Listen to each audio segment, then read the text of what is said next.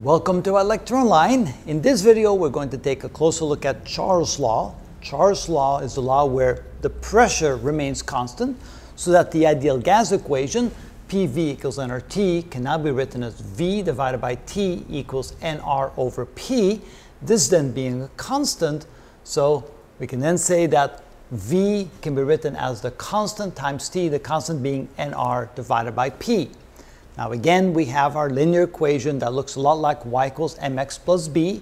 And if this is here our y-axis, this here is our x-axis, you can see that the linear equations can be represented by different slopes.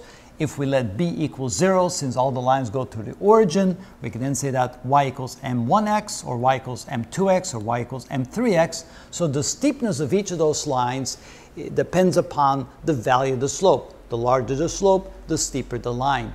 Now here we're going to have what we call the VT diagram because the only two variables that can change are either the volume or the temperature. Now the way this is set up, notice that if you start at state 1 and then you go to state 2 by increasing the temperature, you'll have a proportional increase in the volume. If you double the temperature, you will double the volume because with Charles' law, the ratio of the volume to the temperature remains the same from one state to the next. And so you double the volume, you must double the temperature because that ratio must remain a constant. The only thing that can change is that if the pressure increases, if P is larger, you'll have a smaller slope, and if P is smaller, you'll have a larger slope. That means when there is a smaller amount of pressure, as you increase the temperature, the volume will therefore increase by a greater proportion or greater amount.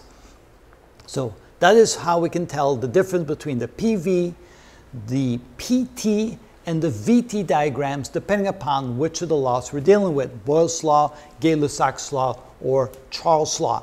Again, in each case, you can see that there's always going to be a relationship that, that can be graphically represented in these various ways, depending upon which of the laws we're dealing with. And that's how it's done.